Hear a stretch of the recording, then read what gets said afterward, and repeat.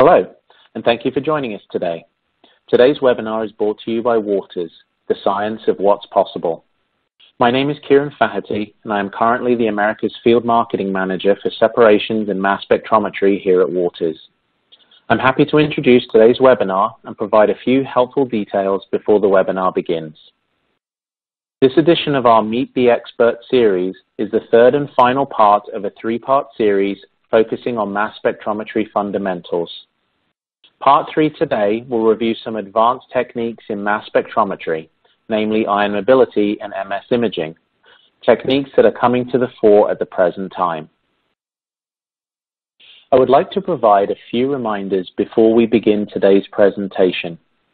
We will have a live text chat during today's webinar, and I will be handling that today.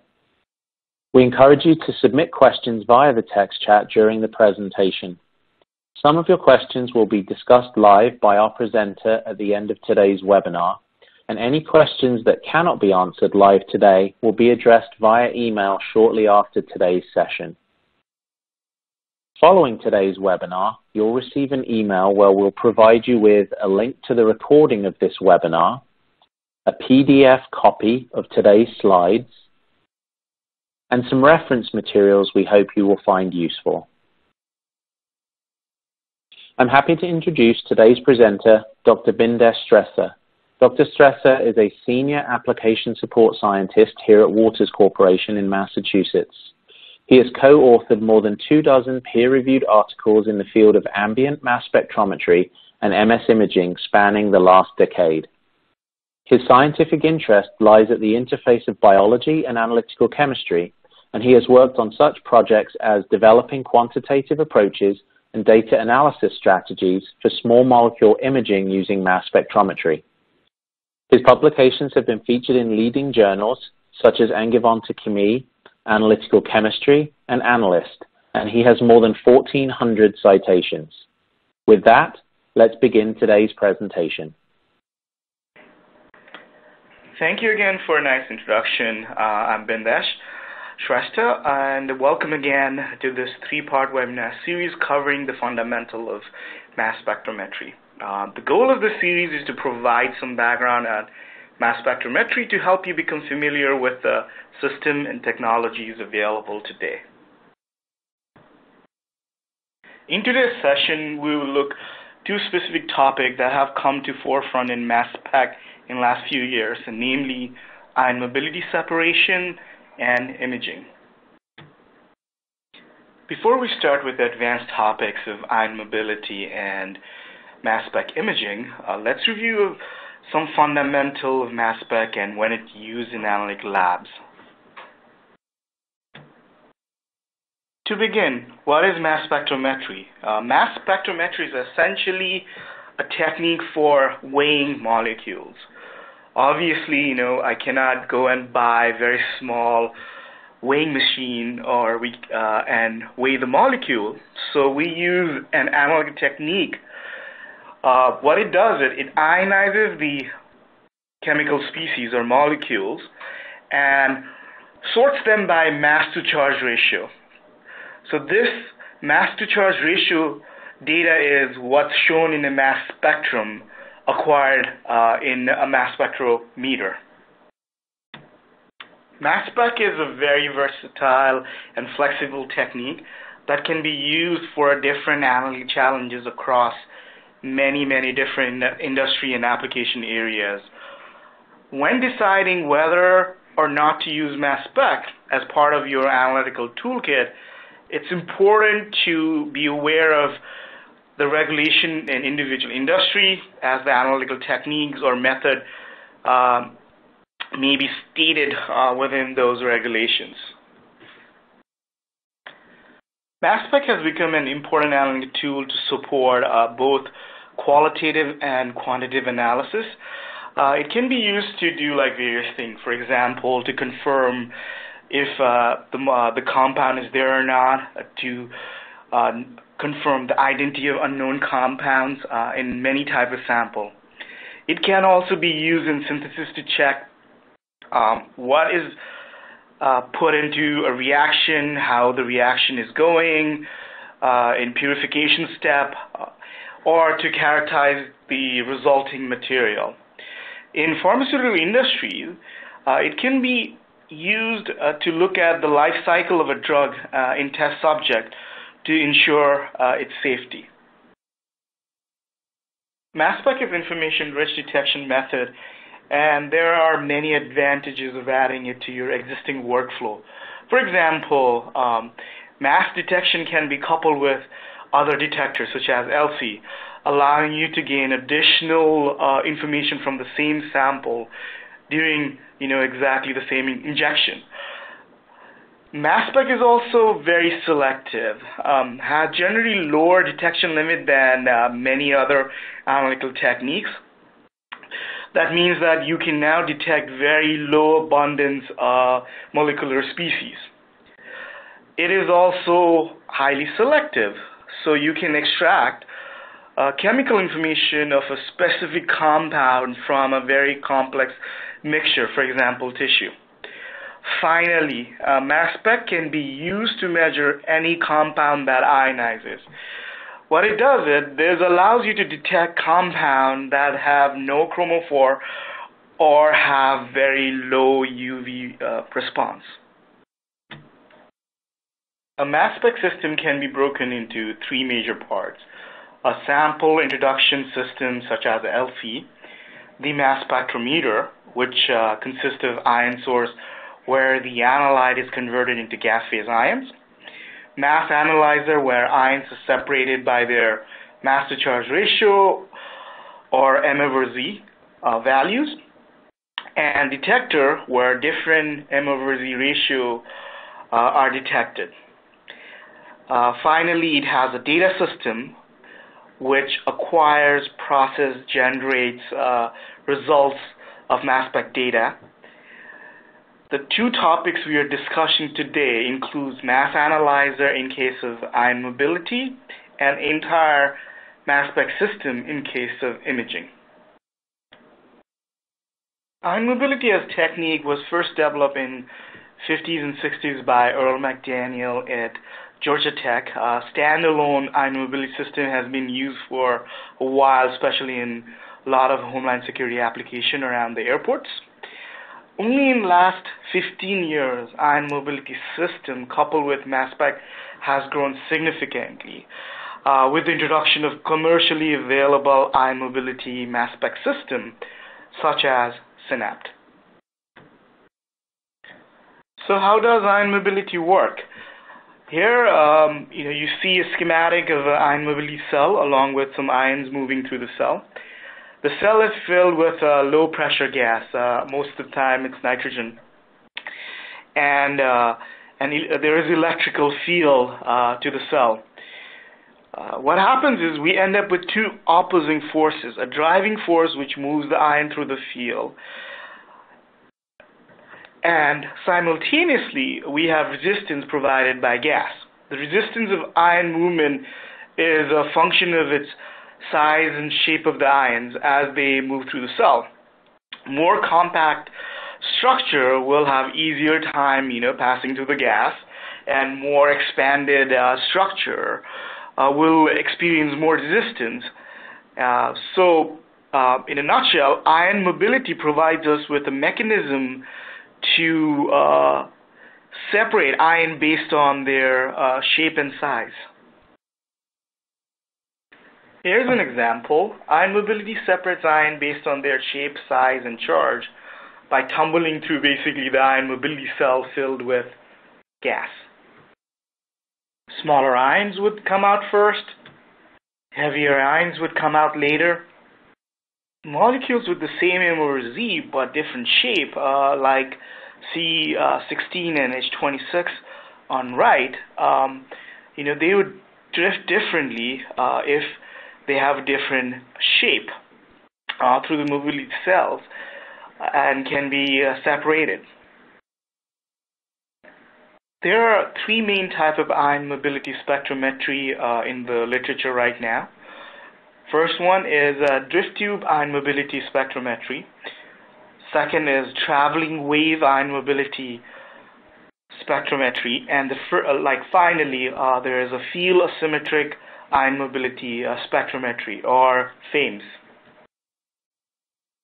Drift tube ion mobility system uses a long gas-filled tube uh, with a constant and uh, generally a low electric field. Um, what happens is ions are injected at the one end, and the time taken to travel uh, the length of the tube is uh, measured. From this, uh, we can calculate the velocity of the travel, and if the field strength is uh, is known, um, the ion mobility can also be calculated.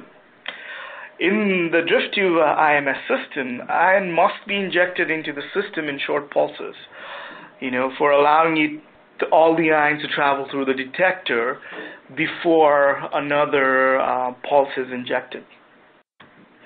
Traveling wave ion mobility system uh, also works very similar to drift time uh, system. Um, however, instead of having a constant electric field uh, in traveling wave um, ion mobility system, we have alternating section of positive and zero electric field traveling parallel to the ion's uh, direction of travel. So basically, the ions are carried along at the front of the wave, uh, effectively like a surfing uh, over it. Um, as it travels uh, time through the system um, is being measured, ion must uh, still be fed into system in uh, short uh, pulses. In FAIMS, instead of applying a field parallel to the ion's travel, an asymmetric alternating field perpendicular to direction of uh, their travel is used. What happens is this causes ions to drift toward one or other electrode. Only ions with a, a very certain uh, differential mobility will pass through uh, the ion mobility system and detect it. By changing a DC compensation field um, and also changing the differential mobility, FAIMS can scan different sets of ions one by one. For much of its history, ion mobility separation mass spec was a very uh, niche academic technique that required you to build your own instrumentation. Over the last few years, uh, the use of ion mobility mass spec has exploded due to availability of robust commercial system. Now, the systems shown here uh, have ion mobility incorporated uh, into high resolution uh, QTOF mass spec. Um, so that the ions can be isolated using a quadrupole and then separated using uh, ion mobility and then ionized by time of flight mass analyzer. Ion mobility separation takes uh, only a few milliseconds, making it compatible with uh, you know existing UPLC um, MS analysis or imaging uh, workflow. Having the ability to separate ions using ion mobility is very useful. While separating the ions, we are also measuring drift time of that ion in a gas. Uh, usually it's a nitrogen gas. Drift time uh, can be converted to rotationally average collision cross-section, or in short, uh, CCS. So this CCS value uh, provide us with the information on the size of the molecule, you know. So what it does is it gives us an insight into its structure, any kind of 3D conformation, and so forth. Um, so additional thing what CCS does is it also provides us uh, with uh, third possible data point uh, along, uh, you know, retention time and mass to size ratio uh, to identify molecules. So we can use um, accurate mass, retention time, and uh, CCS value to identify the molecule more confidently. Here's one example. Uh, these diaminotoluene isomer almost coelute chromatographically. But with ion mobility, we can use their CCS value to distinguish them and separate them. So we can use their LC retention time, their mass to charge ratio, and their CCS value to confirm uh, their identity.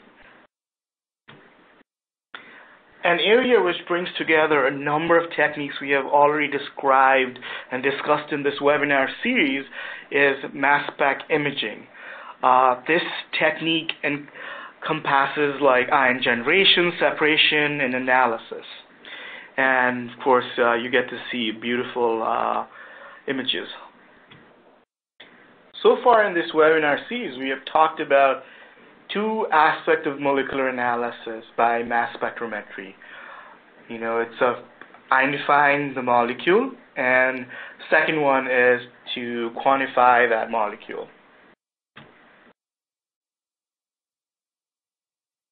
Now we're going to spend a few minutes talking about locating those molecules by using imaging mass spectrometry so far, um, you know, we uh, do sample analysis using this workflow. This is a, a typical workflow for LC-MS um, analysis. For example, if we want to analyze some metabolites in liver tissue, what do first do is we do homogenization, extraction, some more sample preparation. Then we're going to probably separate those uh, metabolite by LC, and then have it detected by mass spectrometer, and then uh, you know the result we are going to analyze uh, uh, by a data analysis system. In mass spec imaging workflow, we are not going to homogenize that tissue because that means that we are going to lose any kind of spatial information of a molecule in that tissue if you homogenize it. What we're going to do is we're going to take uh, section of that tissue, nicely place it in the slide. Uh, some mass spec technique, for example, MALDI might need like some sample preparation, such as matrix deposition. Some other techniques might not. Then we are going to uh, do pixel by pixel uh, mass spec acquisition in a mass uh, in a mass spectrometer, and then using a software, we're going to generate ion images. Let's talk about mass spec imaging principle. It is applicable to basically any mass spec uh, imaging technique. First, we're going to get a nice uh, thin uh, section of a tissue. By using um, very localized ion source, uh, we are going to take a pixel by pixel or spot by spot uh, mass spec of that tissue. So basically what happens is each pixel uh, will have its own unique mass spectrum. We can take uh, intensity of a particular ion, uh, say blue ion in the bottom, and plot its intensity at each pixel. This means we are plotting ion intensity as a heat map over XY plane. We call this ion intensity heat map as mass spec image. So we can select a different ion, and now we're going to get a different uh, intensity heat map or different uh, mass spec image. So now the question is why mass spec imaging? A um, couple of its advantages. Uh, you do not need any kind of label or probe or any kind of tracer. It's a multiplex. That means you can do uh, tons of molecule at a time. Um, it gives you, and at the same time, it gives you specific molecular information on all those molecules. It has a high dynamic range. Uh, it is uh, somewhat uh, quantitative. And uh, what are its limitations? Um, for limitation, uh, the biggest limitation is uh, you cannot do in vivo imaging. You know, it has to be done in context of ex vivo images. Other limitation is you need to be able to ionize that molecule uh, you're interested in, and you need to have uh, enough um, uh, LOD to detect that molecule in the uh, physiological quantity present.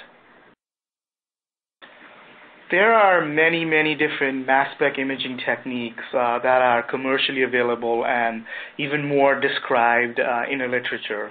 For example, uh, MALDI, um, matrix-assisted laser desorption ionization, uh, LAESI, laser ablation electrospray ionization, or uh, SIMS, um, secondary ion mass spec, REIMS, and so forth. It all comes with its own uh, nice little like acronym. Uh, each of these techniques have its own advantages and uh, are suitable for um, uh, certain kind of uh, imaging workflow. One of the uh, most common mass spec imaging technique is MALDI or matrix-assisted laser desorption ionization technique. In this technique, uh, laser, a focused laser beam um, will um, desorb your sample uh, locally, and you know if you move your uh, slide stage, you you can uh, do pixel by pixel analysis and uh, get a mass spec image. Uh, for a MALDI, you need some kind of matrix coating uh, for ionization, and uh, most of this uh, MALDI uh, analysis happens uh, in vacuum. So you would need to coat the matrix and load the slide into vacuum source, um, and then do the analysis. Another common mass spec imaging technique is DESI, or uh, desorption electrospray ionization. Here, instead of a focused laser beam of a MALDI, uh, we have a pneumatically or gas flow uh, assisted focus uh, electrospray jet uh, that is performing pixel by pixel desorption analysis. Um, DESI is very similar to electrospray, as you can even tell by its name, and it is uh, highly um, amenable to analyzing drugs, metabolites, and lipids. Uh, it's ambient or atmospheric pressure ion source, um, and it does not need any sample preparation beside uh, sectioning of tissue. If we look very uh, closely at DESI, we can uh, visually see electrospray uh, focused toward a sample stage. You know, what's happening is there is a desorption of uh, analyte and ionization happening in concert. There is a mass spec inlet right next to the um, desorption uh, site uh, to uh, you know lead away those ions inside a mass spec for M over Z analysis. DESI was invented in Professor Graham Cooks' lab in Purdue uh, in uh, 2004 by uh, Zoltan Takáts, Bogdan Gologan, and Justin Wiseman um, in the team. And we can see that the citation of uh, DESI has been uh, slowly increasing since uh, 2004. These are some of the photos of commercially available DESI source uh, where you can see a sample stage with a couple of slides. You can see electrospray assembly uh, is placed right next to the uh, mass spec inlet capillary um, next to its orifice. You can see like a tubing for solvent delivery and so forth. DESI is commercially and exclusively available in Waters Q12 platforms such as Synapt XS. Synapt XS is a very versatile uh, mass spec that uh, also support other imaging platform, uh, MALDI, and a host of uh, LCMS platform such as HDX, uh, Nano uh, ESI, and so forth. And in addition to that, it also has ion mobility separation. A typical mass spec imaging workflow, this is more tissue section specific, but that's the most of the time that's what we analyze by mass spec imaging. Um, first, what you need to do is you need to do a tissue section. It's usually done on a cryostat, and we're uh, taking about 10 to 20 micron section. Second step is um, depends on uh, what kind of uh, mass spec imaging platform you're using. If you're using MALDI, you would need a matrix coating step. Uh, for DESI, this step is not required. Um, Then the third step will be setting up the experiment, meaning you're defining the area to image, defining what kind of experiment you're going to do. Are you going to do just the MS only experiment, MS-MS experiment, or ion mobility MS experiment, or ion MS-MS experiment, and so forth. Fourth step would be uh, just to do the data acquisition in one of the QTOF mass spec. Fifth uh, would be to uh, do the visualization of the ions and do uh, some further analysis, some segmentation, statistical analysis, and so forth. And finally, you know, um, um, you got to make sense of those uh, spatial molecular information in context of your larger research. Here are some of the um, you know consideration uh, for tissue sectioning uh, during MS imaging, uh, first, uh, just a basic thing, you know, note like a sample origin and then, you know, address any kind of safety concern, like if you had diseases or you need like certain biosafety level labs and so forth. Uh, most of the time, um, fresh frozen sections are preferred. Uh, although there are limited number of workflow for FFPE um, archive tissues.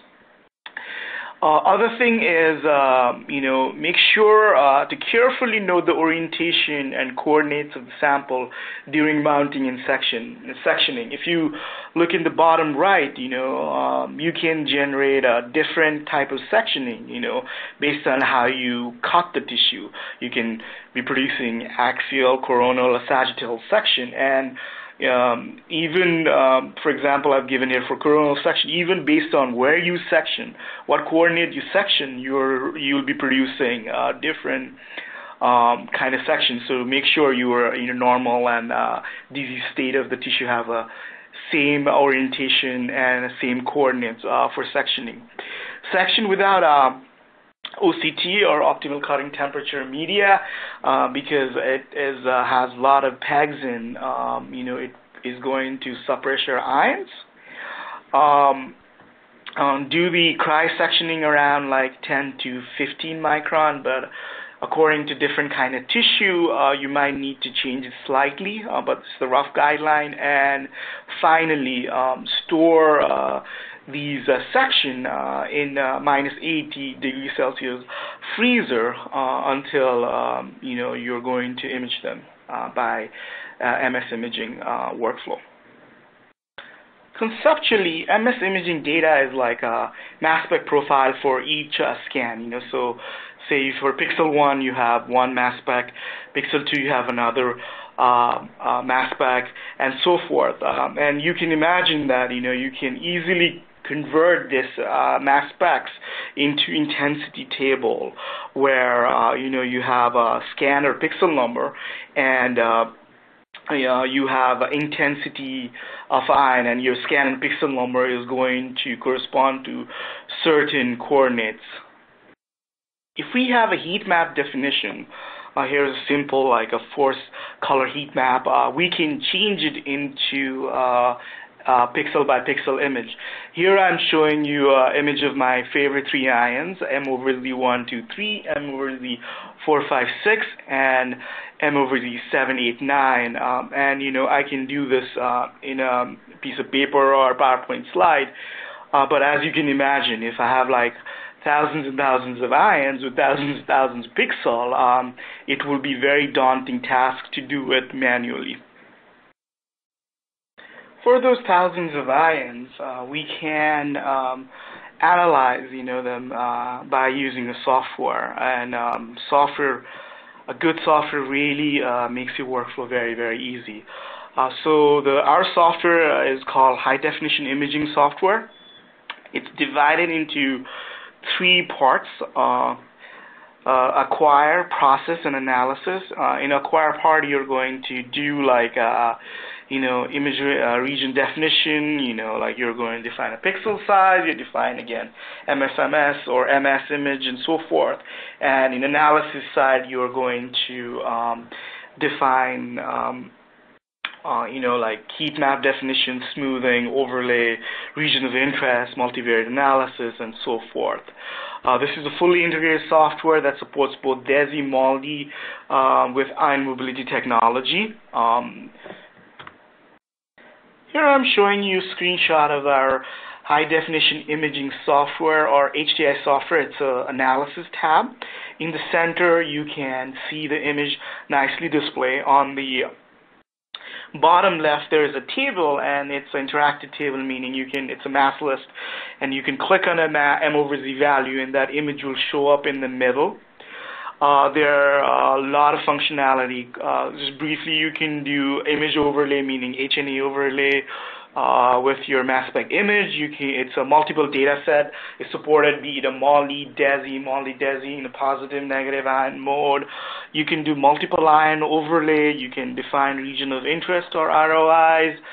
Um, and both uh, mobility plot and MS plot are interactive, meaning whatever ion you select in those plot, uh, it's going to get displayed in the middle. And one of my uh, favorite minor part, it's uh, the uh, it also gives you dynamic dynamic scale bar, so you know exactly how big is your um, you know item or uh, specimen you're imaging. Here is uh, an example of a lipid ion at M over Z772 uh, of rat sagittal section created using uh, MALDI. In this example, I'm showing you a DESI-MS uh, of a similar uh, sagittal uh, rat brain section. On top right, you can see like three different ions. And what we can do is we can do overlay um, of those three different ions. So the bottom portion on the left uh, shows like uh, those same three uh, different ion as a blue, red, and green channels. Not only we can uh, overlay two different ions and get a contextual information, we can also get a contextual information of ion or ions uh, over an optical image, such as H&E image. Here is um, uh, the same ion at M over Z 722 overlaid on an optical image, and you can see like you know uh, where that ion falls based on the uh, on in context to the optical image. If your imaging mass spec has a high mass accuracy and other orthogonal technique, such as ion mobility separation, you can very confidently assign the ions uh, to metabolite. Here I'm showing you some of the ions uh, you know, tentatively identified as a metabolite um, and lipids. Uh, DESI, in fact, actually excels at detecting uh, small molecules such as metabolites from the tissue. Another application for imaging mass spec like DESI would be to not to look at just the uh, endogenous molecule such as metabolite in tissue, but exogenous molecule.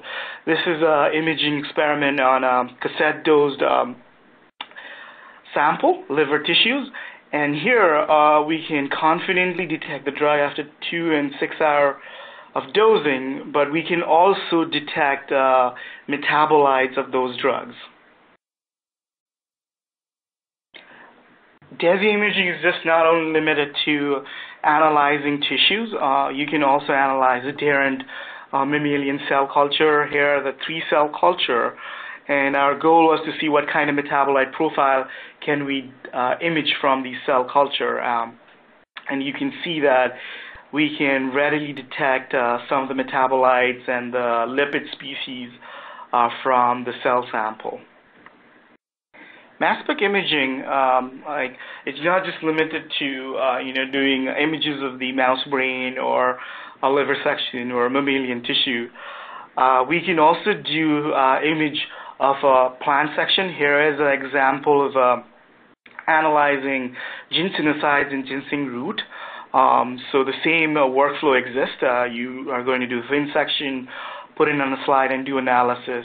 And uh, we can now, uh, by doing imaging, we can tell, uh, you know, if the ginsenosides is in the outer uh, outer um, surface of the root or in the inner surface. And uh, if we want to do confirmation of uh, those ginsenosides, you know, if just uh, if just not M over Z value is enough, what we can do is we can also do MSMS imaging, and by doing MSMS imaging, we can uh, very very confidently confirm the identity of those molecules. Another example of DESI uh, is to detect uh, fraud. Uh, in this case, you know, we're detecting a check fraud. Um, since DESI is a relatively non-destructive technique and you do not need to cut piece of it to fit inside the mass spec like a MALDI target, and you're not going to do any kind of matrix deposition, we can, um, you know, just tape it on the uh, stage and do the analysis. And here, um, uh, the fraud detected was it's a mock fraud. Detected was, you know, like uh, making adding a zero uh, after a check to make it like uh, of a greater value um, than what it is. You saw in last slide that we can do very non-traditional sample surfaces imaging by DESI. Here example of looking at fingerprint on your smartphone. So you can basically tell based on your fingerprint chemical profile who has used uh, your smartphone. Um, and uh, just uh, like a word of uh, you know disclaimer here, uh, none of the iPhone were harmed uh, during uh, imaging of this iPhone. The same flexibility that gives us ability to image a smartphone also gives us ability to uh, image a very non-traditional surface. Uh, this is an example of uh, imaging drug implants, you know, after it goes through certain treatment to look at like a status of drug distribution on the implant. Uh, we actually started this experiment as a MALDI experiment, but it was so difficult for us to section it. You know, if we uh, cool the uh, implant, it, it will be become very brittle and uh, like break away. If it's um, uh, not cooled, it was very malleable. Uh, so our simple solution was to tape it on a sample stage and do like ambient imaging using a DESI. And without doing any much sample preparation, we can nicely uh, image um, effective of various processing on this implant uh, using DESI. So you can see that we can, in mass spec imaging, we can, uh, you know, choose any M over Z value and make a two-dimensional map of uh, those values. Once again, I have the, my three favorite ions I, uh, and their images, ion 1, 2, 3, ion uh, M over Z 4, 5, 6, and ion M over Z 7, 8, 9. But what to do if you have like, a, uh, you know, more than one molecule with the same uh, M over Z value. So what we can do is, you know, the same ion, M over Z 1, 2, 3, you know, if you have, uh, if it's separated in, um, in ion mobility system, we can have a two drift time for it. So, you know, tau 1 and tau 2, and based on those two separate drift time, uh, we can generate two uh, different um, uh, images. Coupling ion mobility with imaging, uh, MS imaging gives, uh, first of all, separation, you know, because uh, inherently uh, your imaging sample are going to be very complex, um, such as tissue. Uh, so, for example, uh, you know, if nothing, it's going to separate in your MALDI all the matrix ions from your lipid ions. You can get more enhanced st structure elucidation capability using ion mobility. And finally, you can do measurement of the CCS value that you can use as additional identifier uh, for your uh, molecules of interest.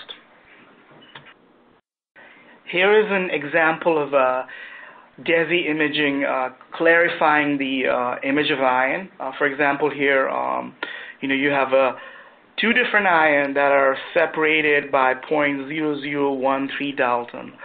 Um, it's very difficult to uh, separate them and image them uh, you know, without ion mobility. And with ion mobility, we can readily separate them and image them. And, uh, you know, what it does, it, it clarifies uh, image for both of those ions. In addition to bringing clarity to images, you can convert those ion mobility drift time into collision cross-section or CCS values. Uh, some of the example of the CCS value of some of the common uh, molecules, standard molecules is given in the table in the bottom of the slide. And you can see that uh, collision cross-section uh, accuracy of this uh, measurement is less than 2% um, across the board. and uh, in many cases, like less than 1%. And this is independent of, of any kind of tissue or sample you're analyzing. So if I have to bring everything together, what I can see is imaging techniques such as DESI coupled with ion mobility separation does open door for very powerful experiment, uh, you know, which you couldn't do before uh, those tools were available. So in summary, ion mobility separation is a powerful technique that's compatible with existing LCMS workflow and provides you with a complementary fast gas phase separation for those overlapping isomeric ions um, and isomeric uh, species. Direct ionization source, such as imaging, uh, cannot use uh, pre-ionization separation, LC separation, but can use uh, post-ionization separation, such as ion mobility, to enhance uh, clarity of the images. Collision cross-section um, or CCS can be utilized as orthogonal identifier of a molecule, uh, along with, uh, you know, of course, accurate mass obtained from high resolution uh, QTOF instrument and retention time. Uh, MS imaging uh, done on QTOF system uh, provides localization of various small molecules such as metabolite, lipids, and drugs. Um, DESI imaging uh, does not need any sample preparation beside a sectioning of a tissue. And finally, uh, SYNAPT G2XS offers a DESI, MALDI, LCMS, and ion mobility separation uh, in the same mass spec platform, uh, providing with uh, ultimate flexibility for your research. And with that, uh, I'd like to thank you, all of you, and I will uh, take your questions. Thank you very much for tuning in.